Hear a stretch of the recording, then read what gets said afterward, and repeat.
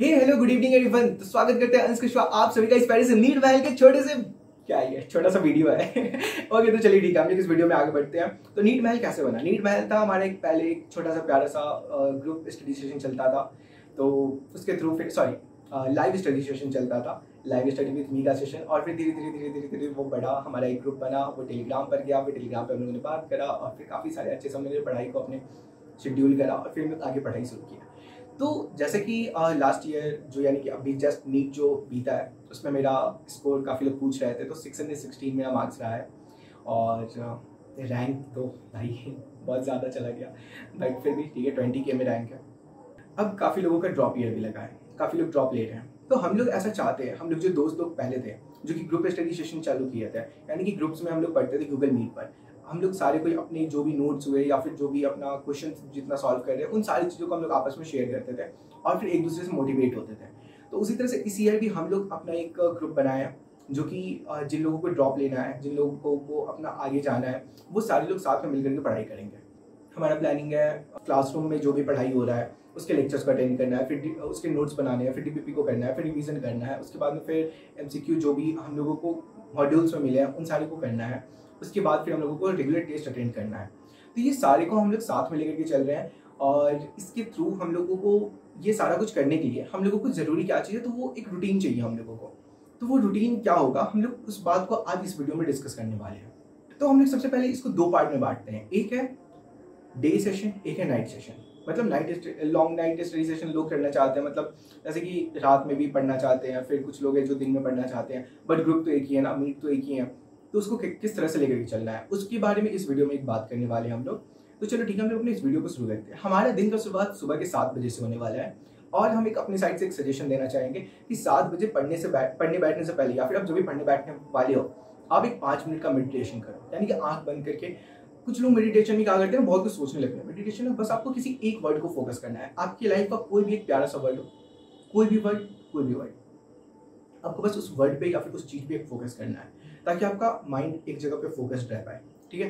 क्योंकि काफ़ी टाइम होता है ना, पढ़ते वक्त लेक्चर देखते वक्त हम लोग लेक्चर देख रहे हैं और कहीं और हमारा ध्यान चला गया। वही चीज़ नहीं होने देना है, ठीक है? तो चलिए ठीक है। हमारा जो सात बजे सेशन शुरू होगा, उसके पहले हम लोगों को आपको वो मेडिटेशन सेशन से भी पहले आपको एक टू डू लिस्ट बनाना है कि आपको आज पूरी रात तक में या फिर आपका जो स्टडी सेशन एंड होगा, उस टाइम तक आपको क्या क्या कंप्लीट कर लेना है। और जब आप टू डू लिस्ट बनाओ लेक्चर्स पर डे का होना चाहिए। तीन उसका नोट्स होना चाहिए। अब उसके बाद आपको रिविज़न उन सबको करना है।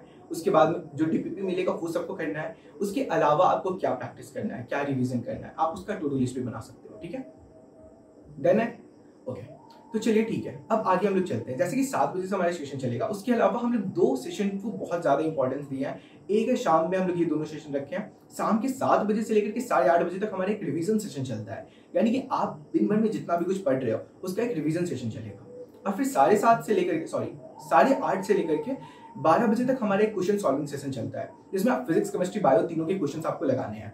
ओके और तीनों का क्वेश्चन आपको कुछ इस तरह से स्टार्टिंग में हम लोग कर रहे हैं। फिजिक्स के fifteen question minimum fifteen question और केमिस्ट्री और बायोलॉजी के मिनिमम थर्टी थर्टी क्वेश्चन आपको लगाने हैं, ठीक है? जिससे कि आपको क्वेश्चन बनाने का रोज प्रैक्टिस हो, ठीक है? आप स्टार्टिंग में इजी क्वेश्चन को प्रैक्टिस कर रहे होगे बट आगे चल के आपको भी एक हार्ड क्वेश्चन जो आएगा, वो लेवल आपको टाइम लगेगा, जो कि आपको टाइम टेकिंग होगा।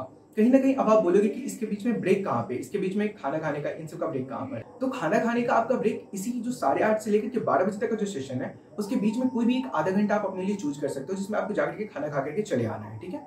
अब इसके बाद का जो टाइम है, आपके पास बच रहा है तीन घंटे।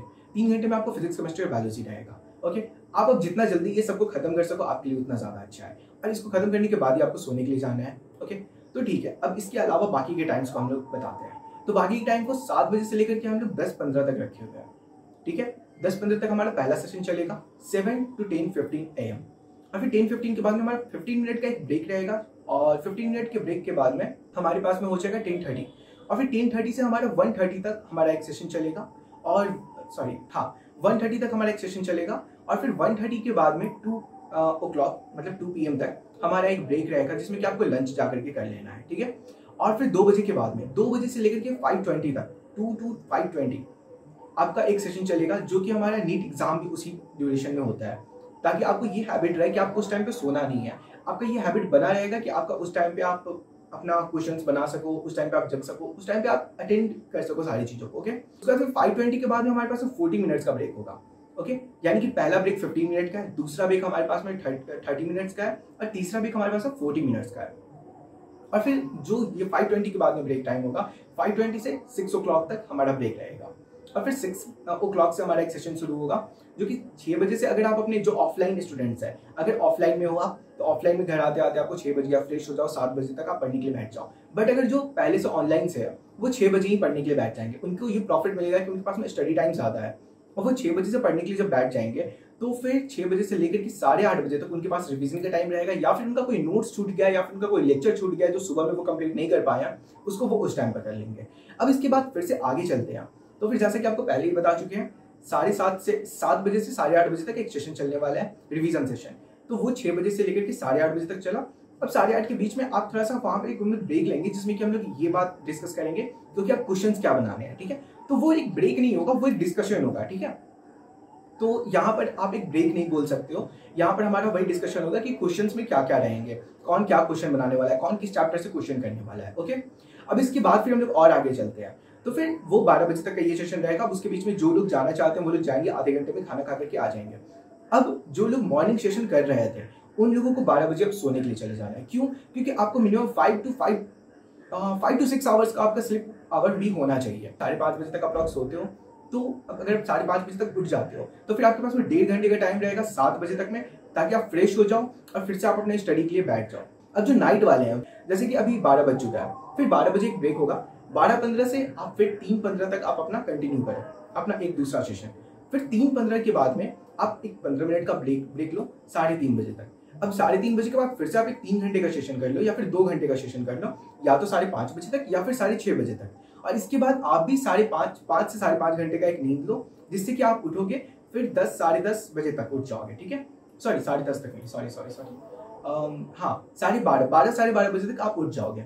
अब बारह साढ़े बारह बजे तक आप उठ गए तो आपके पास भी डेढ़ घंटे का ये एक टाइम पीरियड रहेगा, जो कि दो बजे तक में आपको उठ करके पूरी तरह से फ्रेश होने में और फिर नहावा करके फिर से बैठने में लंच करके आपको हेल्प करेगा। यानी कि आप फिर से दो बजे से अपने सेशन को कंटिन्यू कर सकते हो। तो ये हमारा एक रूटीन था, जो कि चलता रहेगा। अब इसके बीच में अगर आप कहीं पर आते हो और आपको अगर रात को नींद नहीं आ रहा है या फिर आप कभी भी किसी टाइम पर भी उठे हो तो एक तरह से अगर आप देखो तो पूरे ट्वेंटी फोर आवर्स आपका स्टडी रूटीन चल रहा है। अब अगर आप बीच में आए हो तो आपने उसी टाइम से स्टडी रूटीन को कंटिन्यू कर लो। ओके तो आप इस तरह से अपने आप को कहीं एक माहौल में एक ढाल सकोगे। और आपके सिलेक्शन के लिए सबसे ज़्यादा ज़रूरी है माहौल, क्या कोटा देता है? कंटेंट तो हर टीचर दे सकते हैं, हर टीचर एक्सप्लेन कर सकते हैं चीज़ों को बट कोटा क्या देता है? कोटा एक माहौल देता है, और उस माहौल का आपको ज़रूरत है ऑनलाइन प्लेटफॉर्म पे भी। और मेरे को ऐसा लगता है कि ऑनलाइन प्लेटफॉर्म पे ये माहौल हम लोग क्रिएट कर सकते हैं बिना किसी के मदद के। बस आपसे हम मोटिवेट होंगे, हम और आप हमसे मोटिवेट होंगे।